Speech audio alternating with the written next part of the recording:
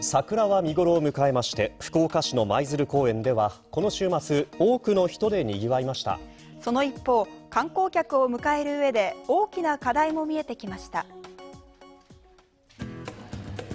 桜の見頃を迎えた福岡市の舞鶴公園。今日はいいですね。風が吹くとなんか花びらがいっぱい舞ってきてすっごい良かったです We love 桜舞鶴公園では桜の満開が発表されて初めての週末多くの人でにぎわいました。その一方で公園を訪れる人たちが利用する駐車場です。料金所では出入りする車が長い列を作っています。舞鶴公園に去年新しくできた大型駐車場では利用者が後を絶たず出入り口には常に10台ほどの車が並んでいました。初め列があって入れないなと思ったんでぐるーっとまた一周回ってまた欅通り側の方にまた回ってまた戻ってきて3 4 0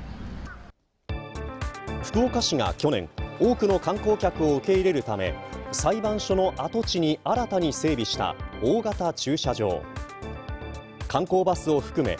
およそ300台が止められます週末は利用客が多く満車状態。特に出庫する車でなぜか長い列ができていました。福岡市によりますと祭り期間中に出庫するのに1時間以上かかったなど苦情が数件寄せられたといいます。出庫に時間がかかるわけ。それは駐車場の構造上の問題です。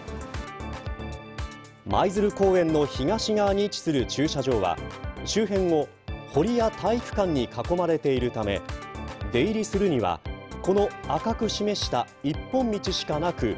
いわゆる袋小路の状態です。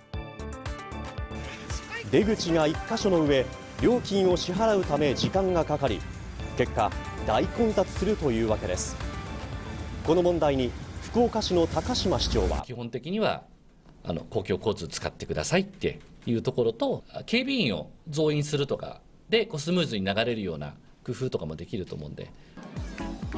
福岡市は誘導員を増やして対応しているとした上で今後も出庫や支払い方法をスムーズにするなど検討したいと話しています。